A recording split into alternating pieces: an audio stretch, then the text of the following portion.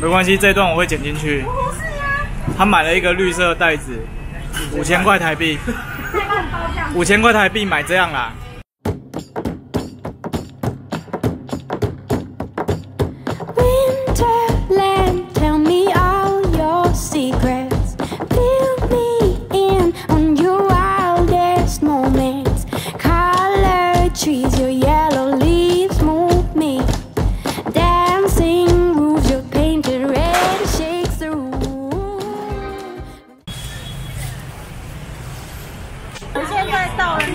开公司。对这边都是那个手表、包包、衣服的地方。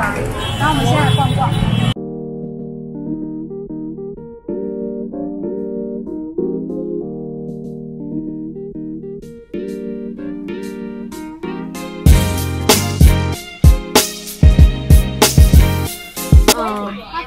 这边有好多零钱包，各种颜色零钱包，然后有造型的，它这是细胶软的，没有味道。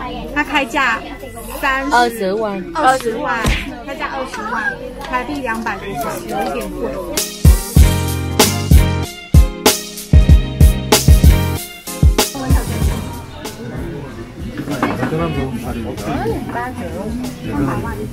三百万，三百万。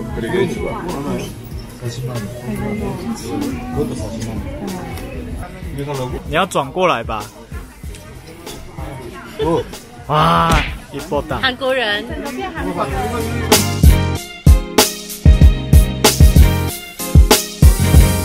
我们带了心心念念那件外套，没关系，这段我会剪进去。他买了一个绿色袋子，五千块台币，五千块台币买这样啦。保安呢？加特贼啦，哎，啊加购物啦。这很便宜啊，三百块。我就要放一起啊。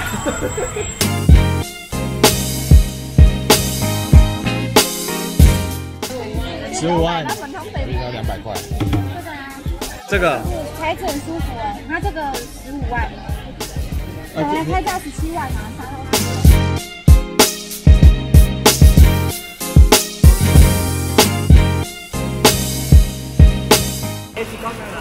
它是楼中楼，我们刚刚在三楼，然后这在二楼，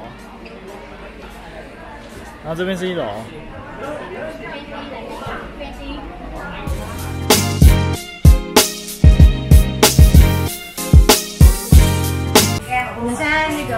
逛完街，吃完饭，然后我们今天来到那个亚洲按摩这一条街的其中一家，叫做一零三按摩，然后看看觉得怎么样，介绍给大家，然后等下会进去拍。这边是换鞋子的地方，然后这边会有更衣间。我们现在换好衣服要上楼了，他这边里面有一座电梯，它的躺椅就长这样子，然后它这中间看一下有没有洞。哦，有，这边有没有？有一个洞是可以趴着的。我们现在在一零三按摩完，然后前面就是一三七，一三七啊，十二点就休息。了，所以很多人他十二点晚上之后呢会跑来一零三，所以他们一零三晚上生意特别好。然后这边我刚刚看一下价钱，九十分钟是三十三万月盾，不用再给小费了。如果是九十分钟的话，这样。然后如果是一个小时，就是二十八万。大家可以换算一下，这样大概就是差不多二十八万，大概就是不到四百块钱。按的力道呢，我觉得，它蛮够力的。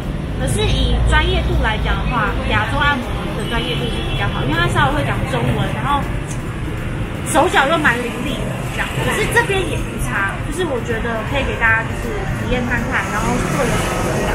然后我们要回饭店喽，拜拜。今天逛了超多地方的，然后超累。来分享一下，就是我们今天的战利品。我们今天傍晚的时候去逛了那个西贡的 Square，然后它那边的话，我觉得比较像是我我去那边啊，我其实自己的衣服没有买到什么，因为挑不到喜欢的。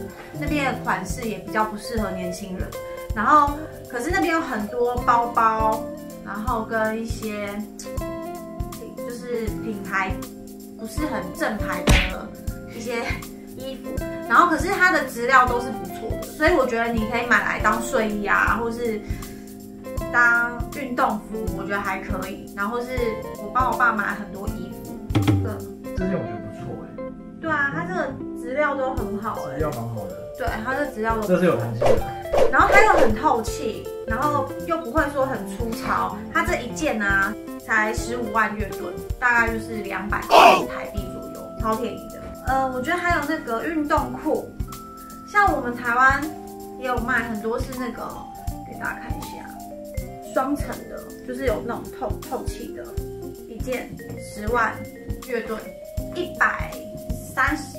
一百二十块、一百三十块台币吧，超便宜，超便宜的。然后这边我后来还有去，好像是第五郡还第六郡的那个衣服街，就里全部都是卖那个年轻人的衣服。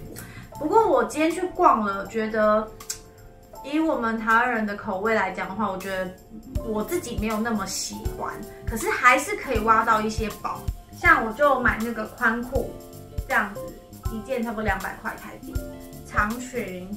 这长裙的料子我也觉得还不错，就是它质料不会很粗糙，然后跟 T 恤，哦，我现在身上穿的也是，就是大概这个也是十五万月盾。我觉得你直接给大家看最贵的，不用，这个就是我在 Square 买的，它是那个韩国的老板，里面全部都是韩货，然后那正个韩货，他们他就我买好之后就就帮我包成这样，它是一件羽绒外套。远的就看到那一件，我就说，哎、我要试穿那一件。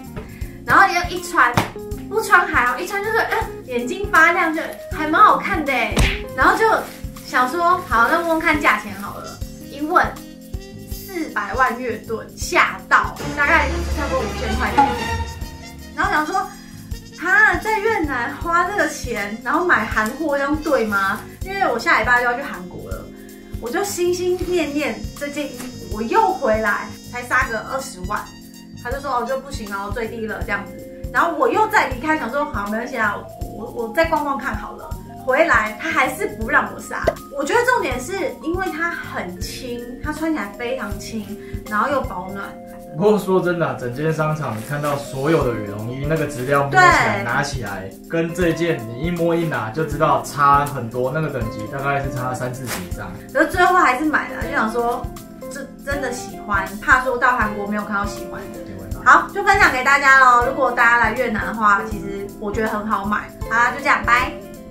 Thank you.